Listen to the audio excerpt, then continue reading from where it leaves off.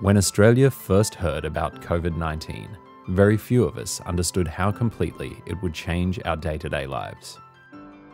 In medical research institutes across Australia, things were already changing as researchers from a variety of fields virology, immunology, microbiology, to name a few started looking at their work and thinking, how can I help?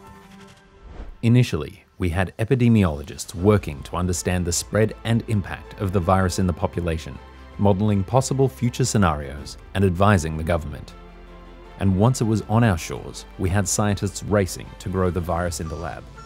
Successfully achieved by the Doherty Institute and shared with public health organisations across the world.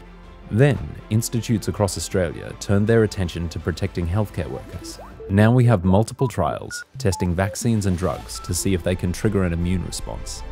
Scientists also started repurposing existing antivirals, with infectious disease specialists collaborating with institutes and hospitals across Australia to run multi-site trials and recruiting patients from more than 70 hospitals. At the same time, researchers have been looking at our ability to test patients for COVID-19 and found ways to speed up delivery of results from initially days to now hours. This has allowed Australia to be as responsive as possible in our testing and find outbreak areas quickly.